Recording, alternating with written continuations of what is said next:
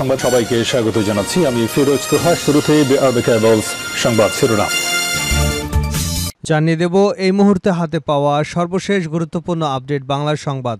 শুরুতেই জানাব, সরকারের কেউ কেউ আওয়ামী লীগের পুনর্বাসনের চেষ্টা করছে। অন্তর্বর্তীকালীন সরকারের কেউ কেউ আওয়ামী লীগকে পুনর্বাসনের চেষ্টা করছেন বলে মন্তব্য করেছেন গণঅধিকার পরিষদের একাংশের সভাপতি নুরুল হক নূর। শুক্রবার বিকেলে যাত্রাবাড়ি দনিয়া কলেজে গণঅধিকার পরিষদ ঢাকা মহানগর আয়োজিত সভায় তিনি মন্তব্য করেছেন। ছাত্র জনতার আন্দোলনে আহত ও নিহতদের জন্য দোয়ার আয়োজন এবং স্মৃতিচারণের সভাটি আয়োজন করা হয়। এবারে জানাব শেখ হাসিনাকে ফেরত না দিলে ভারত বিরোধী আন্দোলন হবে। জাতীয় গণতান্ত্রিক পার্টির জাকপার সহসভাপতি ও দলীয় মুখপাত্র রাশেদ প্রধান বলেছেন, গণহত্যার দায় শেখ হাসিনার বিরুদ্ধে গ্রেপ্তারি পরোয়ানা জারি করেছেন আন্তর্জাতিক অপরাধ ট্রাইব্যুনাল। আঠারোই নভেম্বরের মধ্যে শেখ হাসিনাকে গ্রেপ্তার করে ট্রাইব্যুনালে হাজির করবার জন্য নির্দেশনা দেওয়া হয়েছে। জানাব এবার আয়নাঘর নিয়ে নিউ ইয়র্ক টাইমসের প্রতিবেদন।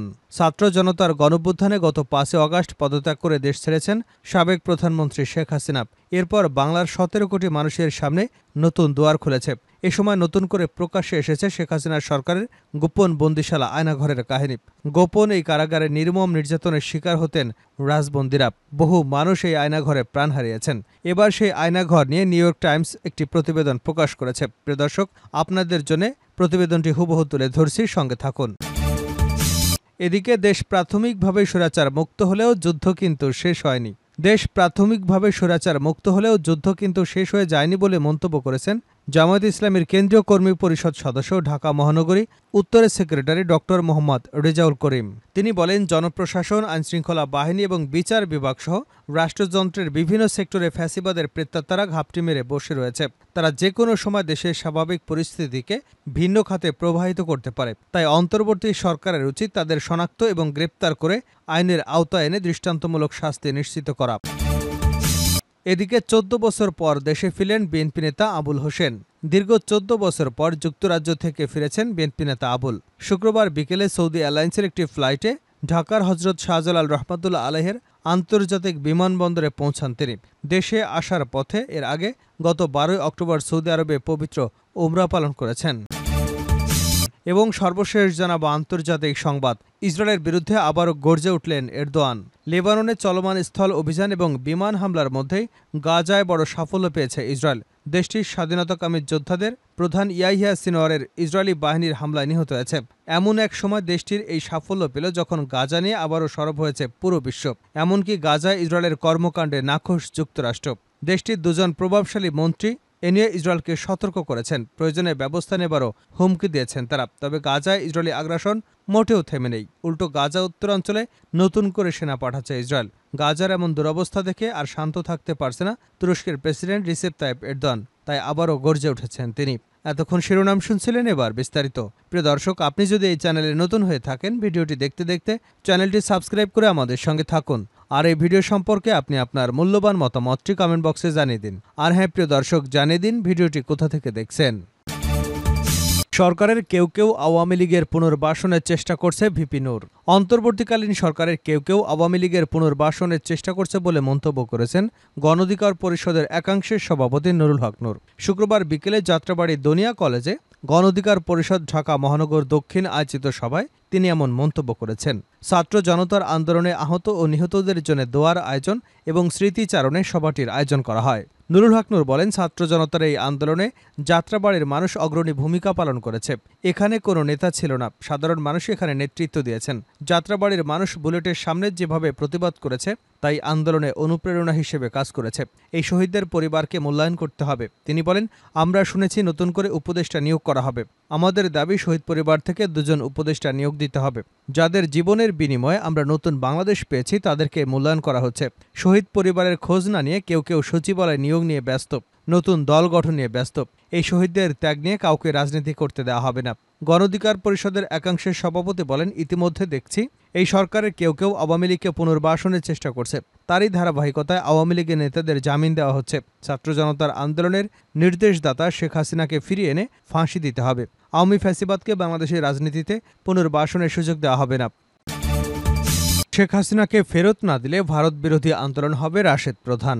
জাতীয় গণতান্ত্রিক পার্টির জাকপার সহসভাপতি ও দলীয় মুখপাত্র রাশেদ প্রধান বলেছেন, গণহত্যার দায়ে শেখ হাসিনার বিরুদ্ধে গ্রেপ্তারি পরোয়ানা জারি করেছেন আন্তর্জাতিক অপরাধ ট্রাইব্যুনাল। আঠারোই নভেম্বরের মধ্যে শেখ হাসিনাকে গ্রেপ্তার করে ট্রাইব্যুনালে হাজির করবার জন্য নির্দেশনা দেওয়া হয়েছে। এদিকে ভারতের পররাষ্ট্র মন্ত্রণালয়ের মুখপাত্র রণধীর জয়সওয়াল এ বিষয়ে মন্তব্য না করে জানিয়েছেন শেখ হাসিনা ভারতে আছেন এবং থাকবেন। কথাবার্তা পরিষ্কার, শেখ হাসিনাকে আঠারোই নভেম্বরের মধ্যে ফেরত দেন নতুবা বাংলার মাটিতে ভারত বিরোধী আন্দোলন শুরু করা হবে। তিনি শুক্রবার বিকেলে সাতক্ষীরা শহীদ আসিফ চত্বরে জুলাই অভ্যুত্থানে জাকপা ছাত্রলীগ সভাপতি আব্দুর রব ফারুকের জাকপা ছাত্রলীগ সাতক্ষীরা জেলা আয়োজিত সংবর্ধনা সমাবেশে এসব কথা বলেন তিনি। রাশেদ প্রধান বলেন, শেখ হাসিনা শেখ পরিবার বাংলাদেশে রাজনীতি করেছে নিজেদের সম্পদ বৃদ্ধি করবার জন্য আর ভারতের সেবা করার জন্য। শেখ মুজিবের মৃত্যুর পর শেখ হাসিনা আর শেখ রেহানা ভারতে বসবাস করেছে। শহীদ প্রেসিডেন্ট জিয়াউর রহমান অনুমতি এবং নিরাপত্তা না দিলে হাসিনা এবং রেহানা বাংলাদেশে প্রবেশ করতে পারত না। ছাত্র জনতার অভ্যুত্থানে এবারও তারা ভারতে আশ্রয় নিয়েছে। শেখ পরিবার বাংলাদেশে নয় হিন্দুস্থানকে তাদের দেশ মনে করে। তিনি অন্তর্বর্তী সরকারের উদ্দেশ্যে বলেন, হাজারো শহীদের রক্তের বিনিময়ে আপনারা ক্ষমতা এসেছেন। বৈষম্য বিরোধী আন্দোলনের সফলতায় আপনারা বৈষম্য করবেন না। শুধুমাত্র ঢাকা বিশ্ববিদ্যালয়ের ছাত্র নয়, প্রাইভেট বিশ্ববিদ্যালয়ের ছাত্র, সকল ছাত্র সংগঠন, সকল গণতন্ত্রকামী রাজনৈতিক দল এবং সকল শ্রেণি পেশার মানুষের প্রাপ্য সম্মান দিন। শুধুমাত্র জুলাই আগস্ট গণহত্যা নয়, শেখ হাসিনার বিরুদ্ধে পিলখানা শাপলা চত্বর লগি বৈঠার গণহত্যার বিচারও করতে হবে। এবার আয়নাঘর নিয়ে নিউ ইয়র্ক টাইমসের প্রতিবেদন। ছাত্র জনতার অভ্যুত্থানে গত পাঁচে অগাস্ট পদত্যাগ করে দেশ ছেড়েছেন সাবেক প্রধানমন্ত্রী শেখ হাসিনা। এরপর বাংলার সতেরো কোটি মানুষের সামনে নতুন দোয়ার খুলেছে। এ সময় নতুন করে প্রকাশ্যে এসেছে শেখ হাসিনা সরকারের গোপন বন্দিশালা আয়নাঘরের কাহিনী। গোপন এই কারাগারে নির্মম নির্যাতনের শিকার হতেন রাজবন্দিরা। মার্কিন সংবাদ মাধ্যম নিউ ইয়র্ক টাইমসের এক প্রতিবেদনে আয়নাঘরের বন্দীদের দুর্বিষহ জীবনের গল্প তুলে ধরা হয়েছে। সংবাদ মাধ্যম জানিয়েছে, আয়নাঘরে নির্যাতনের কারণে কোনো কোনো বন্দী উন্মাদ হয়ে গেছেন। তবে শেখ হাসিনা সরকারের পতনের পর বন্দিশালার কয়েকজন বন্দী মুক্তি পেয়েছেন। তারা নিউ ইয়র্ক টাইমসকে তাদের নির্যাতনের গল্প শুনিয়েছেন। নিউ ইয়র্ক টাইমস জানিয়েছে শেখ হাসিনার সরকারের সময়। আইনশৃঙ্খলা রক্ষাকারী বাহিনীর হাতে গুমের শিকার। শত শত মানুষ এখনও তাদের খোঁজ মেলেনি। সাধারণ রাজনৈতিক কর্মকাণ্ড যেমন বিক্ষোভ, সভা সমাবেশ, সড়ক অবরোধ, এমনকি সামাজিক যোগাযোগ মাধ্যমে বিক্ষুব্ধ মন্তব্য করবার জন্যও অনেককে গুম করা হয়েছে। গুমের শিকার অনেকেই গোপনে হত্যাকাণ্ডের শিকার হয়েছেন। আবার অনেকে আয়নাঘরের গোপন বন্দিশালায় বছরের পর বছর আটকে রাখা হয়েছে। সেখানে অনেকেই মারা গিয়েছেন। তবে সেখান থেকে আবার কেউ কেউ জীবন নিয়ে ফিরেও এসেছেন। আয়নাগরের বন্দি বীর আহমেদ কাসেম আরমান গত আগস্টে মুক্তি পেয়েছেন। এই গোপন বন্দিশালায় তার মতো আইনজীবী ছাড়াও সরকারি কর্মকর্তা, আইনশৃঙ্খলা রক্ষাকারী বাহিনীর সদস্য, কূটনৈতিক এমনকি মানবাধিকার কর্মীরাও ছিলেন। গোপন এই বন্দিশালা থেকে মুক্ত হওয়া আরেকজন কয়েকবার স্ট্রোক করেছেন। তিনি মারা গেছেন, ভেবে তার স্ত্রী অন্যত্র বিয়ে করেছেন। আরেকজন জানিয়েছেন যে তার খোঁজে দুয়ারে দুয়ারে ঘুরতে ঘুরতে শেষমেশ তার বাবা মৃত্যু হয়েছে। আয়নাগরে ঠিক কতজন মানুষ মারা গেছেন তা এখনও অজানা। তবে গুমের শিকার ব্যক্তিদের বহু স্বজন এখনও তাদের ফেরার জন্য দিন গুনছেন। তারা নিখোঁজ স্বজনের খোঁজ অথবা গুমের জন্য দায়ীদের বিচারের আওতায় আনবার জোর দাবি জানাচ্ছেন। নিখোঁজ এক ব্যক্তির স্বজন তাসনিম শিপ্রা বলেন, কি ঘটেছে? আমরা তার জবাব চাই। আমার চাচা বেলাল হোসেন দু হাজার তেরো সালে নিখোঁজ হয়েছেন। সম্ভবত তিনি দুনিয়াতে নেই। সাবেক বন্দীদের তিনজনকে আয়নাঘরের একটি ছবির আকার অনুরোধ জানিয়েছিলেন সংবাদ মাধ্যমটি। সেখানে তারা বর্ণনা দিলেন যে, একটি লম্বা করিডোর আধা ডজন কক্ষ রয়েছে। সেখান থেকে অপরটি দূরত্বে থাকলেও তা মুখোমুখি অবস্থান রয়েছে। করিডোরের দুই প্রান্তে রয়েছে শৌচাগার, সেখানে একটি দাঁড়িয়ে ব্যবহার করার জন্য, আরেকটি বসে ব্যবহার করার জন্য। প্রতিটি ঘরে রয়েছে বড় অ্যাডজাস্ট ফ্যান নিরাপত্তা রক্ষীদের আলাপ যাতে শোনা না যায় এবং বন্দীদের মানসিকভাবে বিকারগ্রস্ত করা যায়, সেজন্য এসব ফ্যান উচ্চ শব্দে ব্যবহার করা হয়। দেশ প্রাথমিকভাবে স্বৈরাচার মুক্ত হলেও যুদ্ধ কিন্তু শেষ হয়নি ডক্টর রেজাউল করিম। দেশ প্রাথমিকভাবে স্বৈরাচার মুক্ত হলেও যুদ্ধ কিন্তু শেষ হয়ে যায়নি বলে মন্তব্য করেছেন বাংলাদেশ জামায়াতে ইসলামের কেন্দ্রীয় কর্মী পরিষদ সদস্য ও ঢাকা মহানগরী দক্ষিণের সেক্রেটারি ডক্টর মোহাম্মদ রেজাউল করিম। তিনি বলেন, জনপ্রশাসন, আইনশৃঙ্খলা রক্ষাকারী বাহিনী, বিচার বিভাগ সহ রাষ্ট্রযন্ত্রের বিভিন্ন সেক্টরে ফ্যাসিবাদের প্রেত্যাত্মারা ঘাপটি মেরে রয়েছে।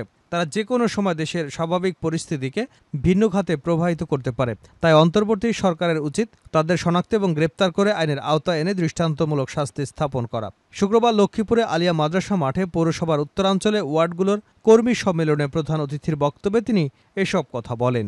ড. রেজাউল করিম বলেন, বীর শহীদদের রক্ত লক্ষ্মীপুরের পবিত্র জমিনকে ইসলামী আন্দোলনের জন্য উর্বর এবং গতিশীল করে তুলেছে। দিন প্রতিষ্ঠার প্রত্যয়ে বুকে তাজা রক্ত ঢেলে দিয়েছেন ড. ফয়েজ ফ্যাসিবাদ মাফিয়া তন্ত্রবাদ আওয়ামী বাকশালকে বিদায় দিতে আরও অনেককেই প্রাণ দিতে হয়েছে। এই রক্তাক্ত জমিনে বৈষম্য বিরোধী ছাত্র আন্দোলনেও প্রাণ দিয়েছেন আমাদের নবীন প্রজন্ম। আওয়ামী ফ্যাসিবাদকে তাড়াতে কমপক্ষে পনেরোশো জনকে শাহাদত বরণ করতে হয়েছে। ফলে দেশ এবং জাতি নতুন এক বাংলাদেশ পেয়েছে। তাই অর্জিত বিজয়কে টেকসই এবং ফলপ্রসূ করতে ইসলামী আন্দোলনের কর্মীদের ইস্পাত কঠিন ঐক্য গড়ে তুলতে হবে।